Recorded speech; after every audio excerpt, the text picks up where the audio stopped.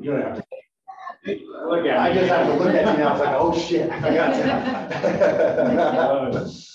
so anyway, uh, long story there, but this is the class that where I met Walt, and then it turned out in the first of January, a little bit more timely to do time management, planning, goal setting. Great class. I did record it. I haven't uploaded it yet. I'll get that to you guys. Um, so, so that's kind of like the, the, the, the short of it. So we rescheduled this class on uh, realtor safety, risk management, you know, being, all that stuff, being aware of your surroundings. So Walt, I'm going to turn it over to you. You add whatever other context you need to introduce yourself. I appreciate that. And then let's rip into it. All right. Well, I think that was pretty good. I don't know that I really need to say anything else. So this course, if you guys are looking at the slide, right, I'm not going to regurgitate my bio to you. You can look at the slides. The reason there's not a lot of real estate related bullets on the on the slide here is because this course actually started uh, as something completely different. And I, I still teach that course. It's called Abduction, Resistance, and Escape. And it's about a three hour mini seminar where I talk about things like human trafficking and child abductions and things like that. And then we get into some really hands on stuff like we just don't have time. It wouldn't work on a Zoom, but things like actual physical confrontations, how to get out of rope and duct tape and handcuffs and all kinds of other things if you found yourself in an abduction scenario and you needed to get out of it. So what I've basically done is pared that down into some data that is incredibly useful for anyone out and about in their normal daily life, but especially as a real estate agent. I don't think of, there's a lot of agents that really don't understand how dangerous our job can be because we are just right we're friendly people we build relationships that's what we do and so by default we're programmed to be as nice as we possibly can to random strangers in empty houses and just assume the best of everybody. Mm-hmm. And while that usually works just fine, when it doesn't, the results can be disastrous. And so I've got some real world examples I might share as we go through this. But so that's kind of how this course came about. So that's enough about that. Um, what this course is not, let me caveat that first. Um, you saw the bio. I've done a lot of cool guy stuff. It doesn't really matter in this context. This course will not teach you to be a ninja. You are not going to learn all of the cool guy hands-on skills that'll make you Jason Bourne by watching a Zoom video. It's just not going to happen. What you are going to get is a lot of real world practical things that you can employ day to day in and outside of your real estate business to make you a safer person. And if you take what we'll talk about later and you practice with it, then you will absolutely be able to defend yourself as well if, if you find yourself you know, on the receiving end of a violent encounter. This is about a 98% solution. The reason I say 98% is because honestly, the physical confrontation is the is the very last 2% if everything else up to this point has failed. There's a lot of things that you can do well before that to diffuse a situation and not have to get violent with somebody. So it's about a 98% solution. This is the quick course outline, what we're gonna cover. Um, you'll notice in this bullet points, there's an overview of defensive tactics. Again, in the real course that I teach in person, I always joke, hey, this is the fun part, wives, you get to choke your husbands now. And we actually get hands-on and I teach about how to defend yourself against someone grabbing your wrist, someone choking you, someone putting you in a headlock. That's real world practical stuff, but you just can't teach that properly on a Zoom course. That, that has to be done in person. I will give you all some resources. I've actually posted a, a link to a Google Drive in the chat already, which will show you some videos that I have handpicked after scouring YouTube for hours because there's a lot of junk on YouTube those techniques that are being shown in those YouTube videos are quality, practical techniques that you can go practice with a trusted partner. And we'll talk a little bit more about how you do that. But there are ways that you can go practice that without having to go find some ninja dojo somewhere and spend thousand dollars a year and, and, get trained in a black belt, right? That's there's real world simple techniques that you can learn to implement very quickly that will be beneficial to you. And then at the end of this, we'll do a quick Q&A session, make sure we cover all the high points for everybody. All right, so let's dive right into it. The first thing you have to understand is almost every violent encounter can be identified and defused before it turns violent. And it's simply a matter of learning how to identify the nuances of something not going right. And, and a lot of times we understand this, right? We get that little gut feeling. And then because we're real estate agents, we automatically override that gut feeling because we want to be friendly with everybody, right? That gut feeling is usually right. So situational awareness and attention to detail truly are the 95% solution to most of the problems you'll find. You see on the, the slide there, the graphic of the OODA loop, the OODA loop. This was created years ago by somebody far smarter than me, but the concept is pretty simple. The human brain takes a certain amount of time to observe what's going on around them, process that data as it comes in, orient themselves to whatever the data is. Where do I fit into this picture? Decide on what the right action is based on that data, and then implement that decision into actual action, right? That takes time. And so I call that your reactionary gap. You can absolutely do things to reduce that reactionary gap and put yourself in a better position to respond to something that doesn't feel right well before you you become the victim of an attack. So this whole course is really designed to strengthen your OODA loop and give you some strategies that you can put in place to create more of a reactionary gap so that you can identify something got, going wrong and either leave the situation completely or react accordingly to keep yourself safe. So one of the, the simple examples I use when I talk about situational awareness, we're horrible about this as real estate agents, is simply scanning the environment every time you go into and out of any particular situation. So uh, on a super, super basic scale, I walk into Walmart and I stop at the door and I pan left to right. I'm not staring anybody down. I'm not mean mugging people in the store. I'm simply scanning the entire environment at eye level and making quick, fast eye contact with everybody. And even if I don't perceive it visually, my subconscious can, and yours as well, will pick up on something being off because we're so used to being in a certain environment that when something's not right in that environment, we pick up on it subconsciously. And that's when you get that gut feeling, right? The hairs on the back of your neck stand up. And you can't quite identify what it is, but you know something is off about the situation. So in that in that moment, you then have to decide, well, how important is it for me to be in this environment? Can I leave and come back later? Can I go somewhere else? And I take a moment to further process what I feel until I see what's going on so I can react properly. Same thing when you leave an environment. So if I walk out of a store and I'm about to go to my car, rather than you know the tried and true, like I'm checking the text and the emails because I'm a realtor and I'm busy, I will pause for a moment and I will scan the parking lot left to right, make on contact with anybody that might be out there and then I'll walk to the car. Now, it sounds so simple, right? Well, you're just scanning the environment. That sounds so robotic. But here's the reality bad guys like easy targets. They don't want to be seen. They don't want to be heard. They don't want attention on the environment. They simply want to find the easiest victim, perpetrate the crime, and go away to do it again later. By making eye contact when you scan the environment, you can inadvertently diffuse yourself from being a victim without even realizing you did it because the person lurking in the corner waiting on that person that looks like an easy victim you have seen them now and that therefore they're no longer interested in making you a victim it really can be that simple so the attention to detail is huge right picking up on the little nuances in the environments you're in already and trusting those spidey senses when they start to tingle to investigate further and figure out what's going on. So a couple common threat indicators. I'm not going to dive super heavy into this because this can get really technical into the you know the intel field.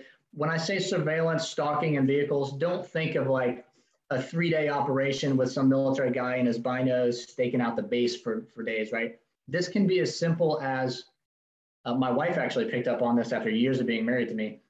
Uh, the a vehicle that you see so regularly in your daily routine that you you pause and you think, why do I always see that same vehicle? So I use the Starbucks example because they're easy targets to pick on. If you were in a nine to five job and you had to be at work at a certain time, so you left your house at 6 a.m., You arrived at the Starbucks at 6:30, you grab your cup of coffee, you head to work. Every day, Monday through Friday, you leave at 6, you show up at 6:30, you grab your cup of coffee, you walk back to your car, you leave. Okay? When you walk out of the Starbucks every single morning at 6:30-ish after getting your coffee and you scan the environment, you notice that there's a dark blue pickup truck directly across from your car and you just make a mental note because it's 6:30 in the morning there's not a lot of cars in the parking lot. If you see that vehicle regularly but no one's coming in behind you at the Starbucks, you might start to wonder why do I always see this car? They're not there when I show up, but they're always there when I'm walking out of the store. And so you can use a, an acronym called TED, which stands for time, environment, distance, and demeanor to both verify if something is off and to potentially disrupt something if you feel like it's not going your way. So as the Starbucks example, every single day when I walk out of Starbucks with my venti mocha chuka latte with the cinnamon sprinkles and I'm heading to work, there's that blue, dark blue pickup parked across from me in the dimly lit area. And so I say, well, I'm going to mix up time, environment, distance, and demeanor. I'm going to leave my house at 545 instead of 6 because this car is always pulling into the parking lot at 6.30 with me, I'm simply going to shift my schedule. That varies not only the time, but also the distance that I'll arrive. And now if I still see this same car when I leave the Starbucks, that I'm really going to start to wonder why when I shifted my time, environment, and distance, they did too. And so that's an easy way to pick up on something that might be off, right? And so if you use the same analogy if you're walking through the mall, I walk into a store, I notice a gentleman it, it, walks in behind me. I go to another store, I notice this guy walks in behind me. I go to a third store, I see this guy behind me. Now I might say, well, this guy either has really, really similar shopping patterns or he's following me for some reason. And so, how I would change my time and distance and environment is I would leave that third store and I would walk back to the first store I came to because there's no reason to go back to that store. I've already been there.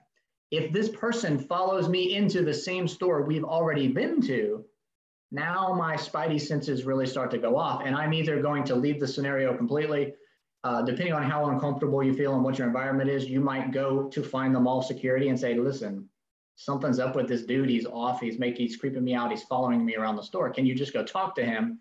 And in that moment that they're chatting with him is your opportunity to leave. Now, you probably won't necessarily deal with that in a real world scenario, but if you do, it's good to understand how you can vary those little bit of variables to identify if somebody is actually watching you, stalking you, you know, ex-boyfriend, creeper kind of stuff. More importantly, is probably in a, in a real estate scenario, the pre-fight anatomical indicators that you see on the slide. It is very difficult, unless you're highly, highly trained, to get violent with somebody without your body telegraphing that you're going to get violent with somebody. It's an anatomical stressor, even for the person that's about to get violent. And so you will see things like they're talking to themselves and they're kind of mentally going through what they're about to do. They might weave back and forth as they prepare themselves. They might roll their shoulders or clench their fist.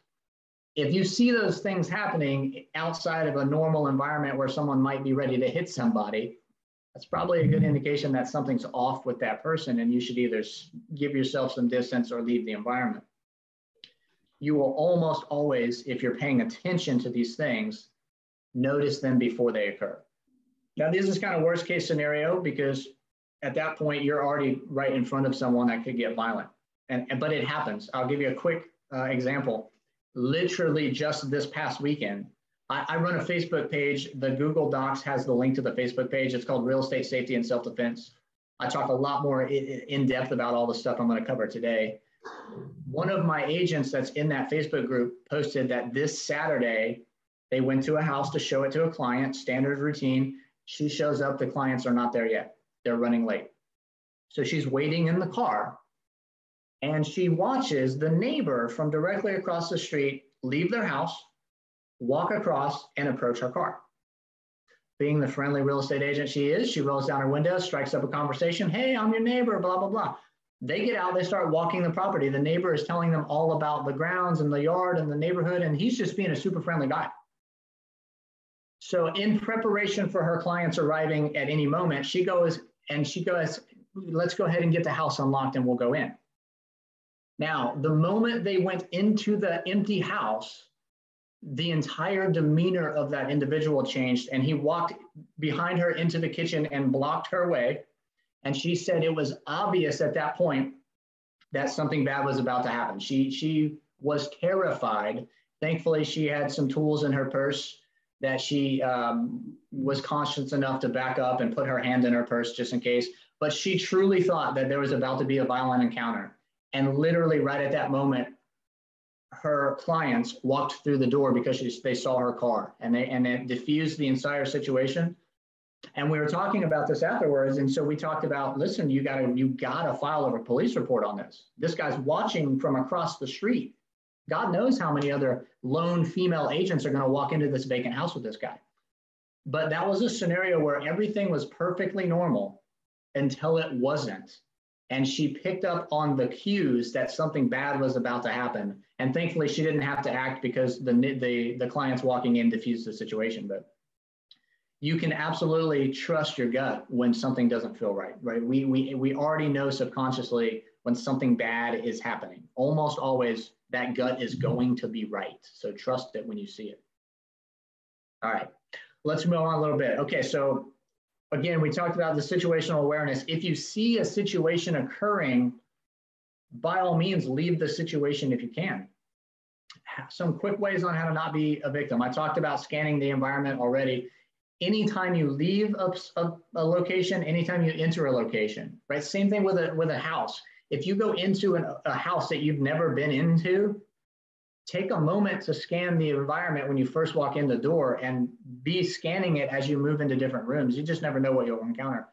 The other thing I always like to highlight, because so many people have a problem with this, make eye contact with people. You don't have to mean mug them. You don't have to stare them down. But so many people feel intimidated for some reason by, by, by looking someone in the eyes. A bad guy wants to be anonymous. They want to find a victim, perpetrate their crime, and leave with as little bit of information as possible being left behind. If you make eye contact with people, that bad guy has been seen. He knows he's been seen. He will very likely not choose you as the victim. Now, that doesn't mean he won't go find another victim, but at least it won't be you today display self-confidence and self-awareness, right? I talked about that as the whole, the walking through the parking lot thing. This thing, we're tied to it. Put it down until you're in a familiar spot. If you are in an unknown area, you're walking through a parking lot, you're walking into a house, put this thing down and pay attention to what's going on around you. Head up, shoulders back, chest out, exude a little self-confidence. That goes a long way. Again, it's a predator and prey mentality Predators are looking for the weakest prey they can. If you look like you're self confident and aware, they're, they're going to choose someone that's not. It's, it's proven over and over again. The, the psychology of violent offenders shows us that they look for the easy targets. So don't be that easy target. Um, I, I can't say too much more about that. Protect your personal space. Now, this is a little easier now, right? Because COVID, like, hey, six feet, buddy, right? No big deal. But um, even in an open house situation, think about the distance that you're keeping people. I like to keep people out of arm's reach of me at all times. So, for example, if I'm hosting an open house, where am I probably standing? Probably somewhere around the kitchen, maybe the dining room. That's pretty standard.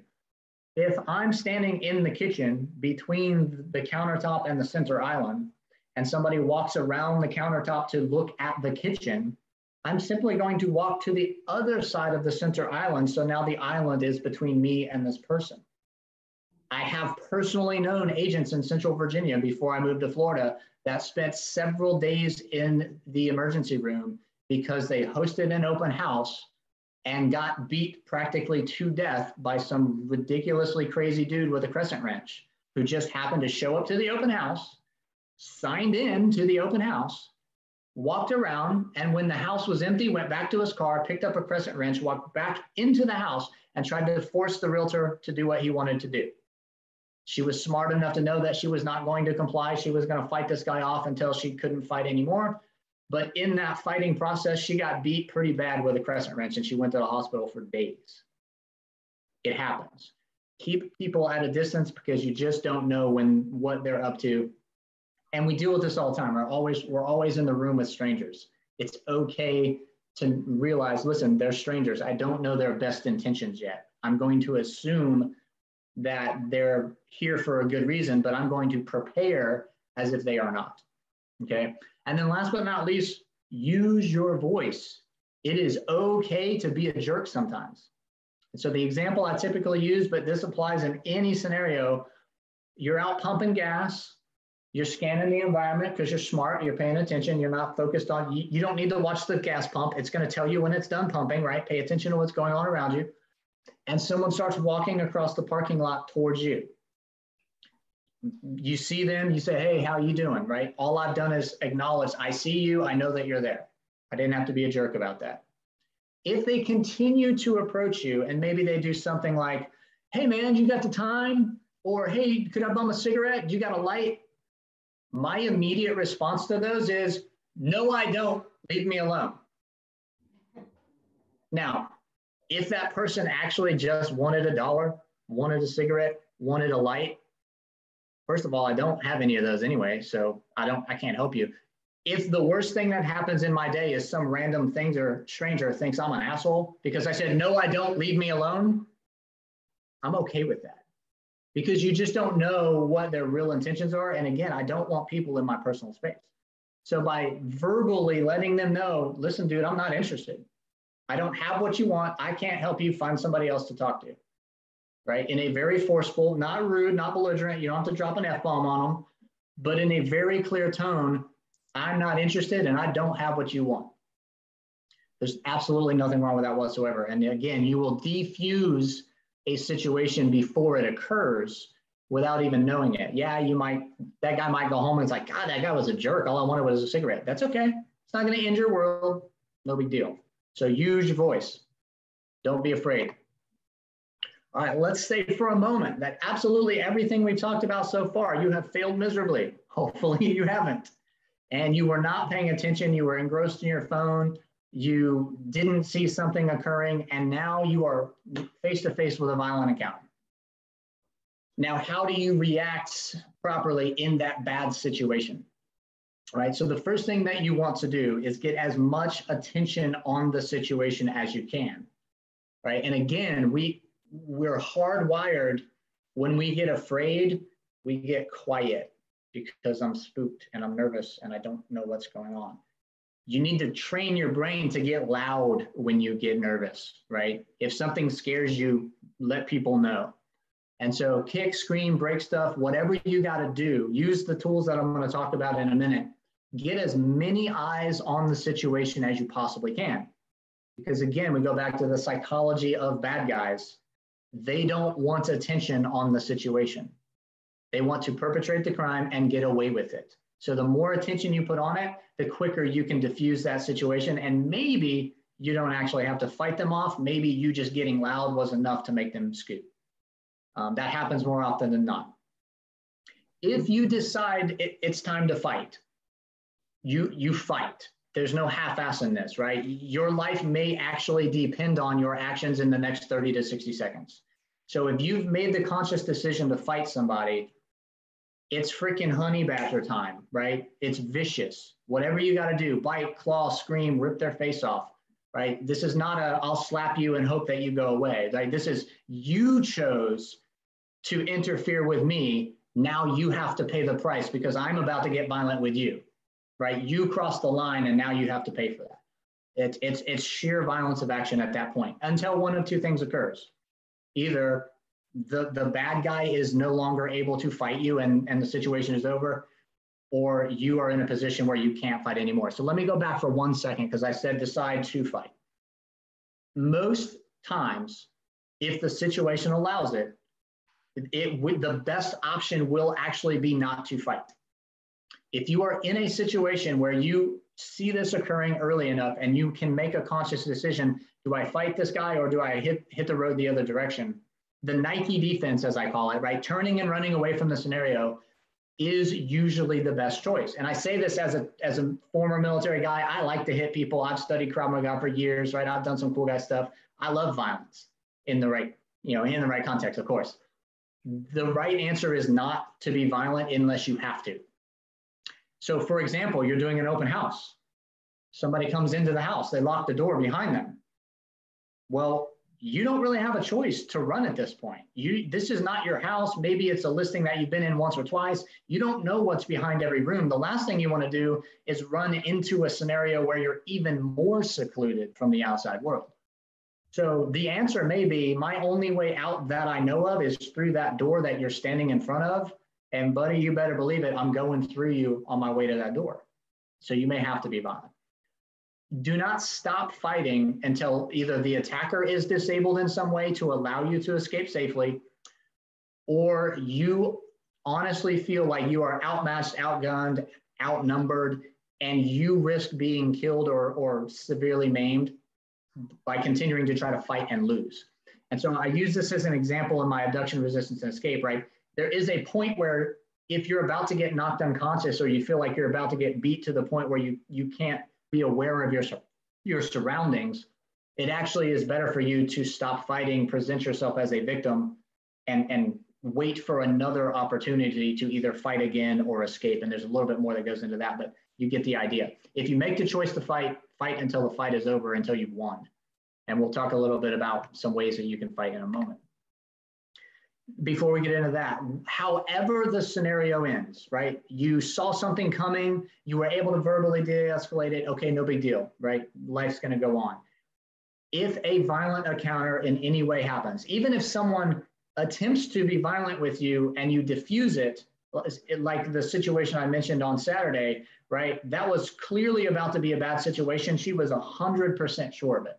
But the, the clients coming in diffused it, okay? She was going to let it go, right? Nothing bad happened to me. I got creeped out. It shook me all day, but it's done. And I, I sat her down. I was like, listen, it's not done. This is clearly a bad person. They intended to do harm to you. You need to report this. Take a moment. You're going to be rattled. You're going to be stressed. Take a moment to recall using all of your senses, all of the little nitty gritty details you can imagine. Did they speak to you? If so, what did it sound like? Did they have an accent? Did, were they having, did they have a slang? Did they slur their words? What were their mannerisms? Did they talk with their hands? What were their facial expressions? Did they have a scar? Did they have a tattoo? Did they, what did they smell like? They smelled like mechanics grease, right?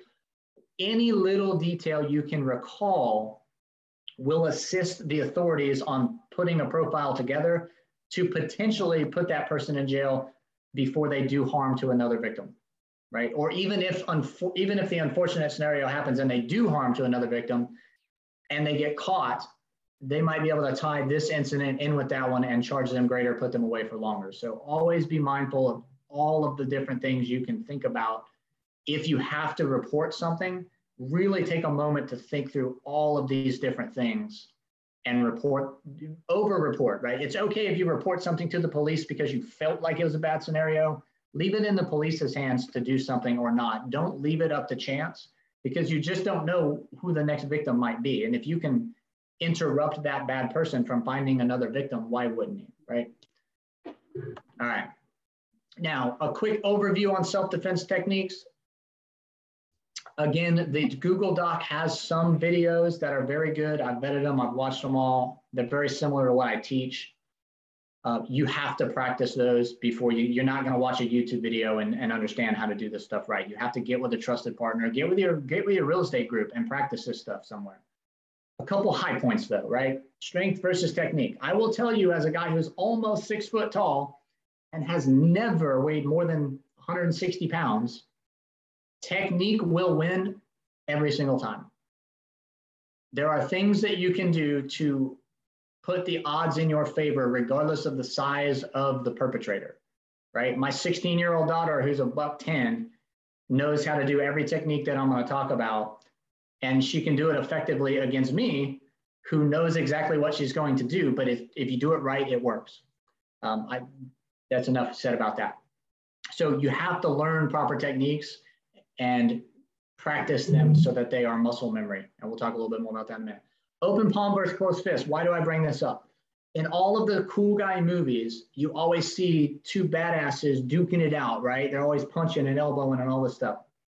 Well, here's the reality if you don't know how to properly throw a punch, you are actually more likely to break your own hand when you hit this person. And now you are in pain, and pain can often override your sense of let's keep thinking through the process and know what to do next. And that puts you in a very bad position.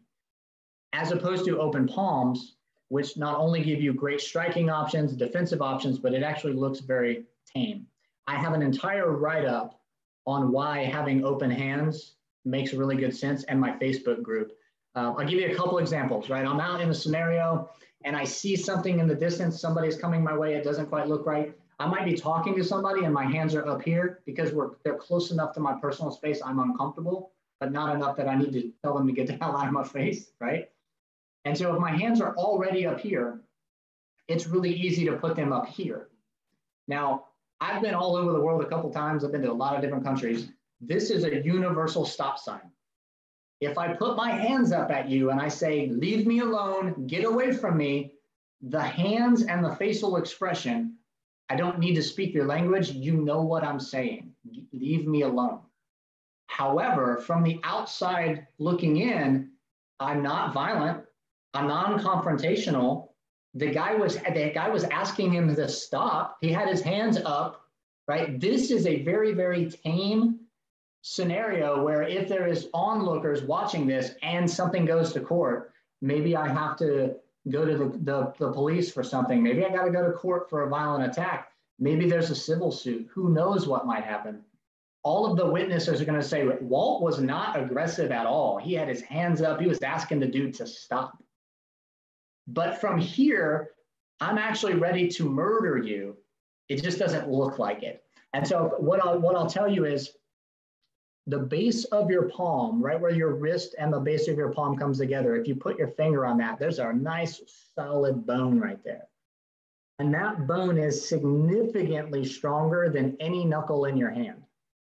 And it will do lots and lots of damage for you without having to worry about breaking your own knuckles breaking your wrist, etc. So if my hands are here and I need to strike you or push you, it's very easy to do this. And I simply strike you at the meaty base of my palm anywhere I can get to you. And I'm gonna talk about the key target areas right there. Not eyes and nose are great, right? If I can make you not breathe well, if I can make you not see well, I now have the opportunity to leave the situation. Um, it's it's pain and it is interrupting their ability to do the, the things they need to do. It's disrupting their senses. Um, so strike here if you can reach it. If you're similar height, similar size, you're both standing, strike the face with your open palms. The next best spot is the throat, right? If you're shorter and maybe you can't really get to their, their nose and their eyes very good, reach up underneath the chin, near the throat, near the Adam's apple, right? You can push and strike in that area. And doing so if you control somebody's head, you control their whole body. So even if you just get a good push, you're still going to send them off balance. You're going to have the opportunity to either strike again or get out of the situation. And then last but not least, we all love to talk about this one, right? The groin is a wonderful target. Whether you are on the ground because you got blindsided and pushed over and someone's about to get over the top of you, whether someone has got their hands on you already and you need to disrupt their mental process, by throwing a quick strike to the groin to get them thinking about how bad that hurts instead of what they're trying to do to you. Uh, the groin is a wonderful target. You put all these together and you continue to hit those targets until the targets are no longer there because the person is done, you're going to be all right. Last but not least, some most common scenarios. Now, these are true for really any violent encounter, right? So I'm trying to abduct a child. I'm trying to rape a woman. I'm trying to mug you, but I need to drag you over into the alley first. I'm in an open house, but I want you in the master bedroom so no one sees what I'm about to do, rob you, etc. These are things that a person might do to get you from one location to the other so that they can affect violence against you. You'd be amazed how popular wrist grabs and hair pulls are. Um, especially with men, trying to do something to a woman or a child because we just assume, right, that the mental is, I'll just muscle this, I'll just brute strength you out of the scenario. And so they might grab your wrist, drag you to wherever they want to drag you. Very similar with the hair, they will grab your hair because, again, if they control your head, they control your body. They will grab your hair and pull you off balance to wherever they want you to go. Uh, the chokes and the headlocks and the bear hugs, right? you'd be amazed how often those come up as well. But really, the, the top two are, are hair pulls and wrist grabs when I'm trying to drag you somewhere else. Um, I'm not going to try to explain how you get out of these on video because it just would get quirky and you wouldn't see that well. I'm giving you videos of people that are teaching the techniques very well. Watch those videos. And then what I recommend you do, and I'll talk a little bit more about it at the end, get with someone you trust to practice the defenses to these scenarios in a very slow and methodical way until you get the mechanics down properly. Then, with that person you trust, ask them to ramp it up. Hey, let's go 25%. Okay, that feels like I've still got it. Let's go 50%. All right, like for real this time, pin me to the wall, choke me, like no joke, let's go. And you build up to a point where you can do these things instinctually, very quickly, very violently, but you can't watch the YouTube video and then go 100% speed, right? You have to build the mechanics before you do that. So take your time with this, but take the time to learn it. And if you um, if you don't want to do this specifically, these videos, go find a place in your local market that teaches practical self-defense related things, not American Taekwondo Academy where they're going to follow a kata and you're going to have to do okay number one strike with the palm number two right number three violence is not paint by numbers you have to be able to assess the situation that you find yourself in respond to the immediate threat and then counterattack as quickly and violently as you can to disrupt that person's reactionary gap to allow you time to either continue to fight or to leave. So get somewhere that understands that and is willing to let you get hands on with people because that's where you're really going to get the training that you want. All right. Uh, short of the actual violent encounter, let's talk a little bit about tools that you can keep with you really anywhere that are incredibly effective. So I've got a few on the slide. You'll notice what's not on the slide. How many people carry a firearm? You don't have to raise your hand, right? Immediately when I think, when people say self-defense tool, right, they usually think things like firearms, stun gun, right? The reason those are not on the slide is because not everyone will carry one, and that's perfectly fine.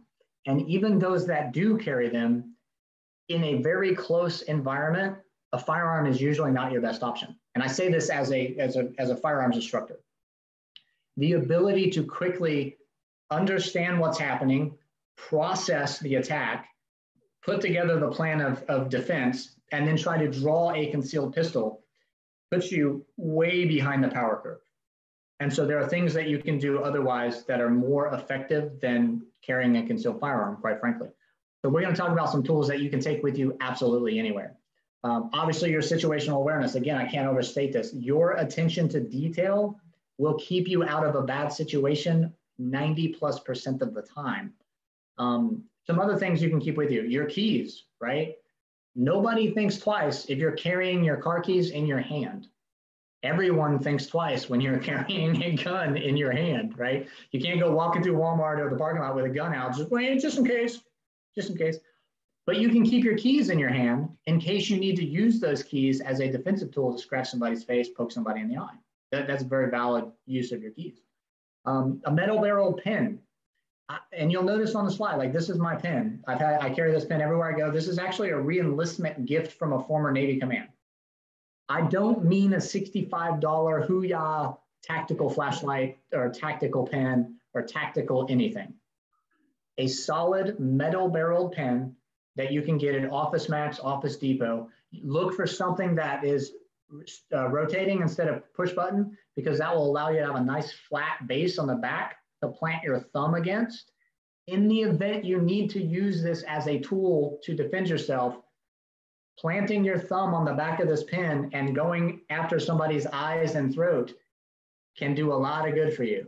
You can carry this anywhere. I take this to the airport. I go anytime I travel, the pen is in my pocket. It's a pen. Nobody thinks about it as a defensive tool, but it makes a fantastic defensive tool, right? So get a, get a good quality metal pen and, and have that with you at all times. Tactical flashlight. Again, it looks mean because it's black and it's beveled and there's chisels and like this could do some damage. But again, it's just a flashlight.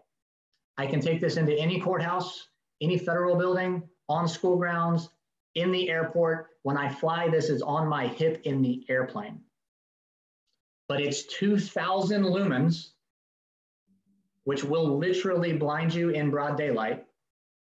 And it's got a beveled strike bezel. So again, think of the scenario you might use this in. I'm in an open house. Someone comes in, they lock the door behind them. They want to do bad things. My only option is to go through them to get out of this house. This flashlight can temporarily blind them and give me a moment to step in and strike them very violently to clear that scenario and let me leave, right? That's, that's the goal at that point is I'm going to escape, but I have to go through you. Super great tool. Now these are a little pricier than the pen, right? You can buy these pens anywhere. Flashlight might run you 100, 150 bucks, but man, it's, it's a lot cheaper than a firearm. You can take it anywhere and it's very, very effective. And it's fun to get your buddies while you're at the staff meetings and just pop them in the eye and they're like, ah, dang, right? That's just fun. You should test those out on your on your fellow realtors. It's good. Now, the last thing I'm going to talk about, you can literally get these uh, Amazon for three and a half bucks. I, I did stocking stuffers for my entire family for these. It's a personable audible alarm. They range anywhere from 125 to about 145 decibels. You can connect them to your belt loop, your keychain, your purse strap, a kid's backpack. They just clip right on. And all you have to do is pull this cord about a quarter of an inch and it gets loud and annoying very quickly. It's probably much louder at, at, my end. That will get as many eyes as possible on the situation, which again is the goal. Here's the beautiful thing about these. If I accidentally pull that cord because I perceive that Jeff, man, he's a brawly looking dude and he looks violent, I feel uncomfortable in this situation. Let me preemptively diffuse this situation by putting all of the eyes and ears on it. Maybe Jeff didn't mean any harm at all. Maybe Jeff honestly just wanted to check with me to see if I had the time. Jeff's not hurt. I'm not hurt. No firearm was discharged. There's no civil liability. There's no criminal penalty. The entire situation is diffused for three and a half dollars and five seconds of loud noise. And I simply go, oh, my bad, guys. Sorry about that. Pull the cord. No no right? They're a really, really great tool to carry with you. Um, and again, they go anywhere. They clip to anything that you can clip a keychain to. You can take this with you. And this is the quiet one. That's 125 decibels. The 145 decibels will literally start causing ear damage if you're right up on somebody with it.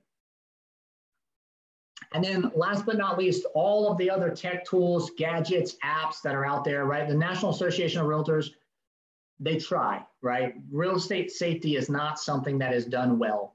And it's not their fault. There's just, there's not a lot of experience on how to get violent with somebody in a good way, right? We don't talk about these things like attention to detail, scanning an environment, verbal de-escalation, right? We talk about things like apps, GPS trackers, will set a safety timer. So if you go into this house and you don't call in 15 minutes, we'll know something's wrong and we'll call the police. Look, I can kill you 37 times in 15 minutes. 15 minutes is way, way, way too long. If you walk into a bad environment, that 15 minute timer doesn't help you in that case, right?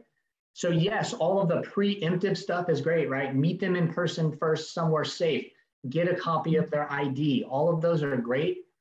But at the same time, if there's a time delay on your safety mechanism, time is not on your side in a violent encounter. And so that may not be the best option. Now, there is one great tech tool that I will leave with you, and I put the link to it in the chat.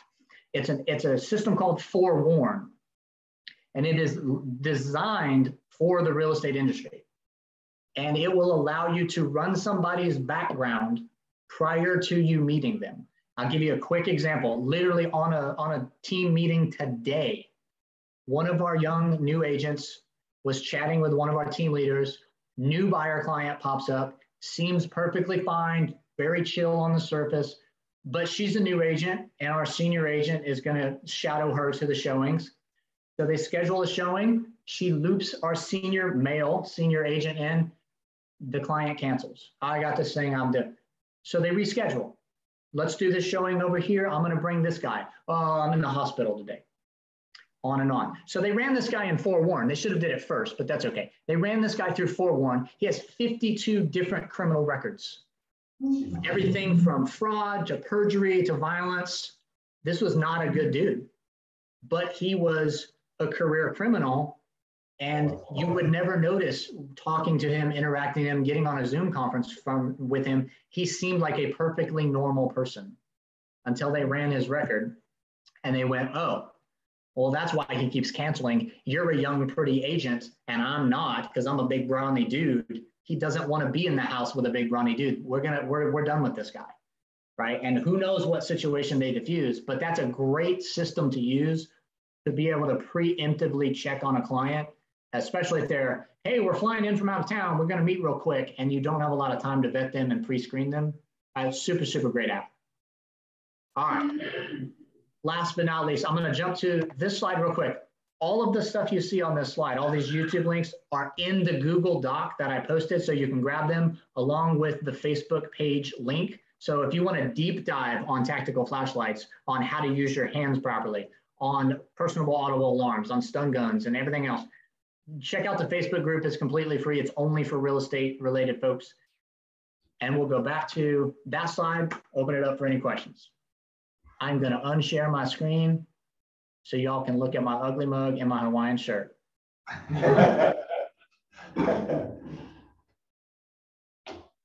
All right, let me just scan through the chat here. So Robert said, for that reason, I carry my gun all the time. Robert, absolutely.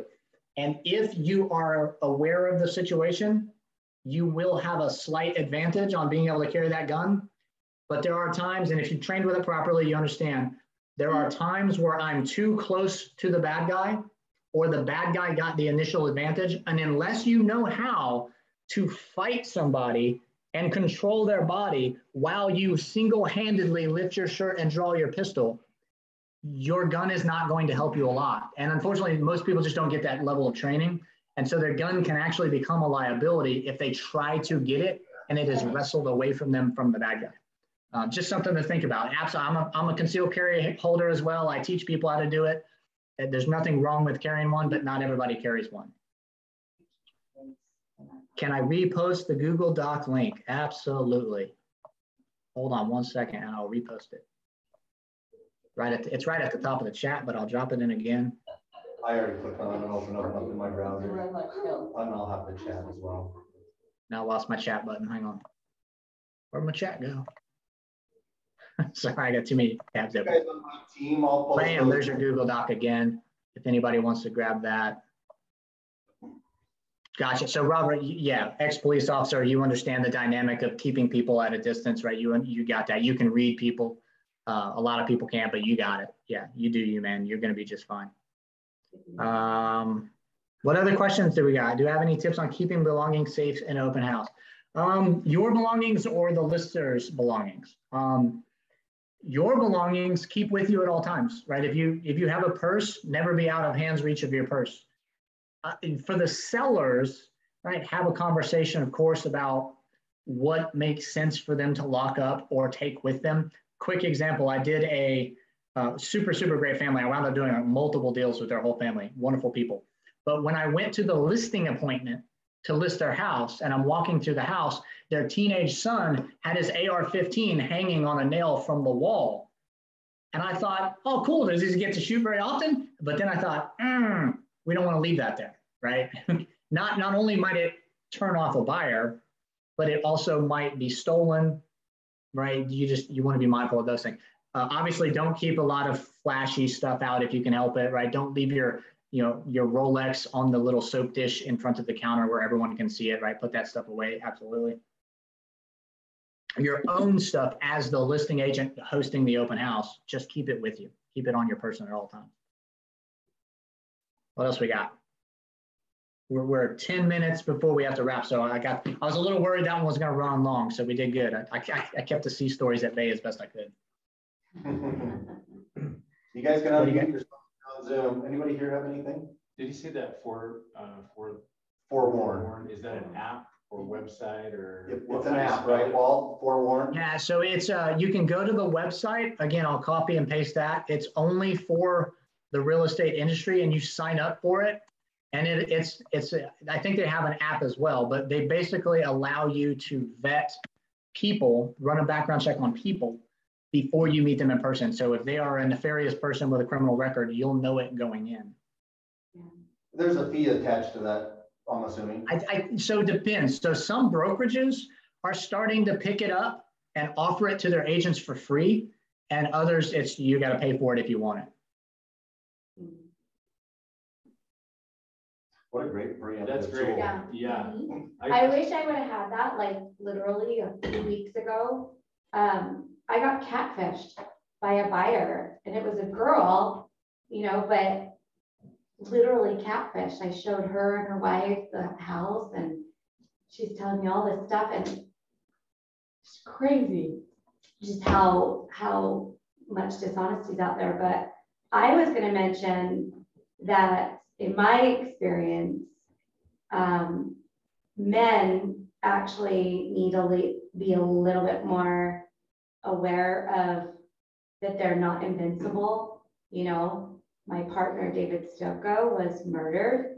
Um, and so they're not invincible. Just because you're a man doesn't mean that you're not gonna get attacked, you Right, know? right. So that, that's just one of my, yeah, and a gun did not help in that situation at all. You know, so, um, made it worse actually, so I, I don't know, I'm- a big gun fan, but.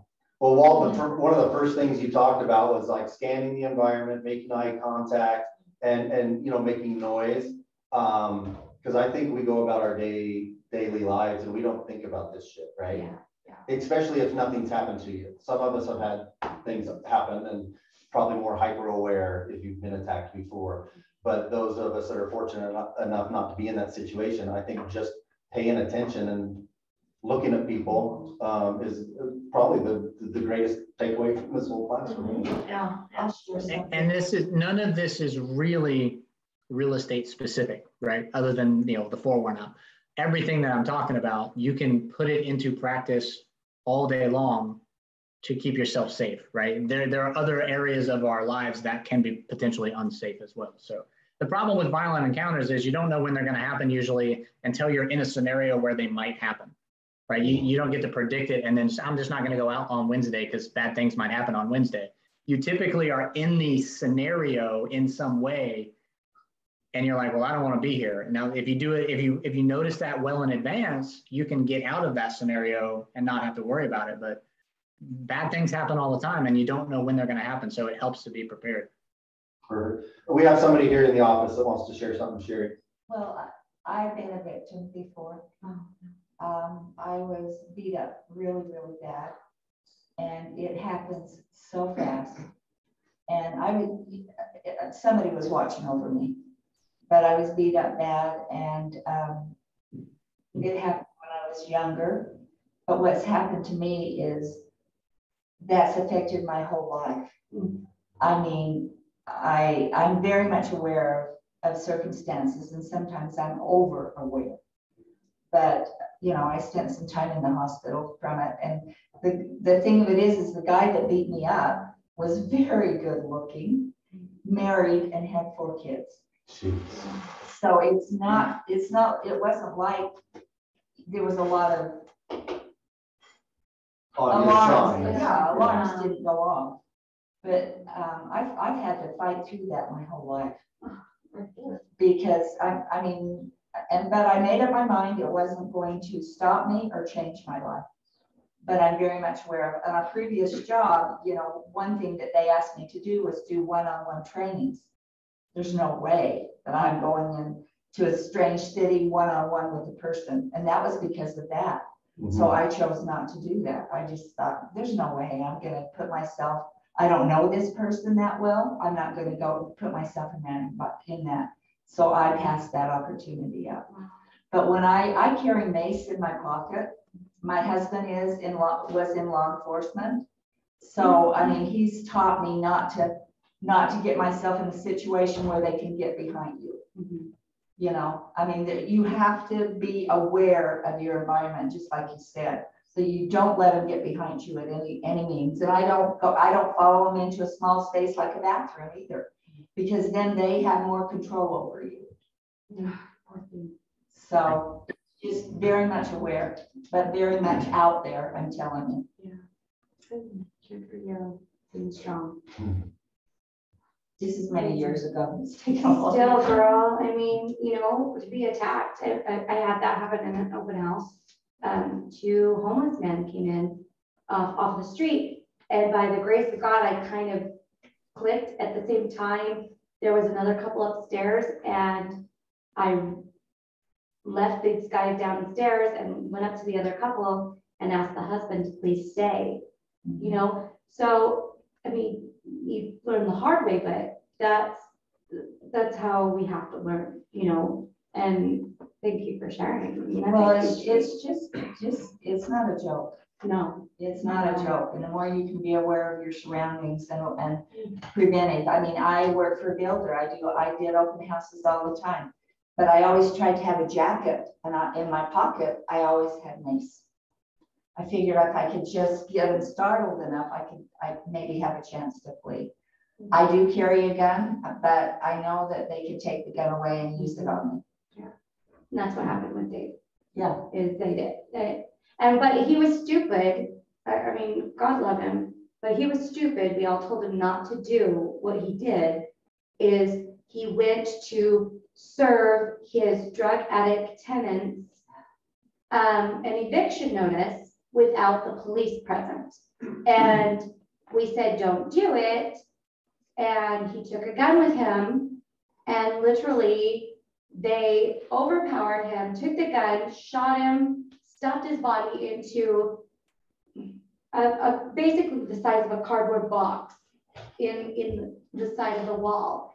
And then went off in his car joyriding. So, I mean, men, I just, it's really one of those men just think they're invincible kind of thing is how I feel because like all of the guys that were with my brokerage at that time and we all were affected by it, every single one of those guys had done that as well, had evicted and took their gun, blah, blah, blah, blah, blah, but, you know, and Dave was not a small guy. He worked out every day. He was fit as a fiddle and they overpowered him, you know, so I just, I don't know. But uh, thank you, Sherry, for sharing. I'm sorry that happened to you. I have a comment, kind of question for Walt too. I'll come hear me better. Yeah. Um, I had a situation where I had been showing this guy tons of homes and he was from out of state or something. Um, but every time he walked into a home, he would comment on the, on the cameras in the home. And he'd be like, oh, there's lots of cameras in here. There's lots of cameras. He's super awkward. Um, just a very interesting guy. But I started to pick up because he commented on every single house that had a camera, he'd be like, oh, there's lots of cameras in here. There's lots of cameras. Well, at one point I was like, I don't feel comfortable. He's not, he's not moving forward with like making offers like he's setting, like, it just seemed like a setup for me. So I let it go. I, I actually said, um, like I was sick or something, and I was like, my husband's so, it would be happy to show you, and he was like, nope Uh, when he, all of a sudden he was not interested in seeing homes anymore. Um, I completely let my husband take it over and he follows up with him, he doesn't text him back. You didn't know that you were going on dates. Yeah, I really was like, why is he commenting so much on these cameras? Obviously, he's not gonna make a move if there's cameras in the home, but like it clicked that I wasn't down to show him any more homes. But do you think that that was like, a- like when they're saying, oh, cameras, lots of cameras in here? What's your opinion on that? So here's, here's how I look at any situation. If you feel uncomfortable, that's all you need. Act on that. Yeah, Because there's not a single commission in the world that's worth you putting yourself at risk if your gut is telling you something's off. So I think he did exactly the right thing. Maybe he was just weird about cameras and he didn't, you know, make, I, no telling, right? Could have been innocuous. It doesn't sound like it because like you said, as soon as you put a male in that scenario, he's like, now I'm not interested anymore. It sounded like he might have been a predator. watching us right now, watch, walk around their house. Yeah. But I think you did exactly the right thing. You trusted your gut and you diffused the situation by simply stepping out of the environment. That was, that was perfect. Even if it was nothing, it doesn't matter. Yeah, You know, Exactly. the situation, better safe than sorry, type right? For sure. Absolutely. But the camera thing was, uh, how much you said, cameras. That was another like, yeah, it stuck out. Yeah, that was sure. That Situation Good on you. Yeah. for catching that. So, um, Holly, Dominique, are, are some of you guys in the, the Moms in Real Estate Facebook group that we started? Uh, Holly and Dominic are actually on, on our real estate team. I invited them. Yeah. Okay, we had invited some other gals I haven't met in person, so that, that's awesome. So I'm gonna You have those. to be a mom. Yeah, because I'm not. I'm 23. it, it, we started the group because we did a panel discussion. Um, in fact, Sammy that was just talking was on the panel. We just did a panel discussion of moms who have kids that work in real estate. So that's why it's a moms in real estate group is, uh, it's a, a unique dynamic that you have to deal with different situations. But this topic came up in, in that panel discussion is why we're actually doing this class. And, um, do you, do you guys have anything to add, Matt, Tori? I think, you know, I do have something to add. Uh, first off, that was really, that was really a great course, uh, or class, or however you want to put it. I got the military mindset. I'm trying to go back to civilian world right now, but, uh, I think what everybody needs to understand is that I- just as we are all going through a training right now, we're, we're, we're getting these ideas and situational awareness, which are all great. You have to understand that these criminals, they're, they're going through training too. You know what I mean? Every time they, they, uh, they go see a house, they're like, oh, hey, and they're observing all these cameras.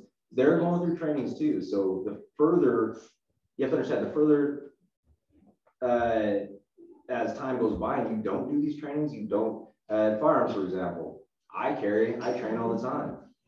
I don't care, like in this setting, I'm not gonna carry one because it'd be absolutely useless, right? A lot of times in homes, to me, it's useless. Uh, because I don't know where that round's gonna go or, or, you know what I mean? You have to train. Just remember, bad guys are always training. They're always doing what they do. That's what they do for a living. So if you're not training, right? And I'm not saying, you know, go uh, do Krav Maga every day or whatever. I think Krav Maga is awesome. Uh, but if that's not your thing, it's not your thing. But you've got to learn some some tools, some techniques to defend yourself in these situations. Uh, but again, great class. It was awesome. Thank you. Yeah. I love that. Uh, Like you said, well, you can't learn from a YouTube video and you gotta practice it, but also like Tori said, you can't practice it once, I got this. Right? You bring it on. Yeah. Yeah, yeah. So. um, I'll get worked up in my. Hey, guys, um, hey, Jake, Jake, we, um, hang on for a second here. I, I, I'm assuming there's no more questions. I didn't see any hand raised, but we have a sponsor in our office here today that just brought us lunch. He's a great lender in our local, uh, market here. He's been here before. He's done some trainings for us. Uh, Jake Bright is with uh, Solitude Mortgage. And, um, so I want to introduce him and let him tell you a little bit about himself and what he can do for you. He's worked with uh, some of our agents before, and we're happy to have you back. Thanks, Jeff. Yeah, it's been a couple months since I've been here. Um, good to see some of you guys. Some of you guys I haven't met. I'm one of the owners of Solitude Mortgage. Um, we're a mortgage broker. So what that means is we've got, I think we're up to about 15 different options of places that we can send certain scenarios, right? So especially on the self-employed side, Eric and I had a transaction that almost went really good and then didn't go very well.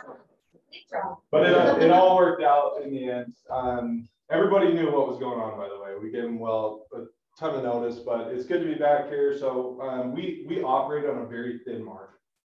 Usually about half of the margin that a mortgage company makes. Um, so they're typically around four, four and a half percent. We're right there on the two percent margin. So razor thin margins, really good pricing, really good rates. And, um, we actually just won an award, ironically, Awesome. myself and Josh. So we're, Nice. we're in the top, as far as mortgage brokers go, we're in the top half percent in the nation for fastest close times. Wow. So pretty cool there. Um, Josh, Josh is really present, Josh, my partner, by the way, he's really presumptuous. He's got it like on his desk. Everybody can see it. It's hidden in my drawer and then I can tell you guys about it. So You can display it He'll, here. he'll never know, yeah. Um, anyway, enjoy lunch. It's from Zao. I think it's pretty good. I usually bring it. Um, so enjoy. Good to meet you guys. Awesome. Send Thanks, out your Jake. business cards, by the way. I, he never leaves anything. Um, I signed up for an e-business card and then never set up the account, so.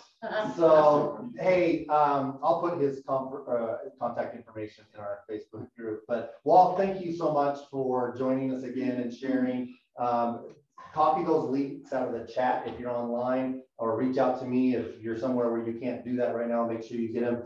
Um, this is just one aspect of Walt. Um, like I said, we've had another training and, um, I'm gonna keep in touch with him, um, and plug into some of the stuff that he does um, and, and share him some more. So Walt, again, thank you so much. My pleasure, man. You guys have a wonderful day. Enjoy your lunch. Thanks, Okay. Paul. Thank you. Thank you. See you guys. That's fantastic. He's great. She's not, still.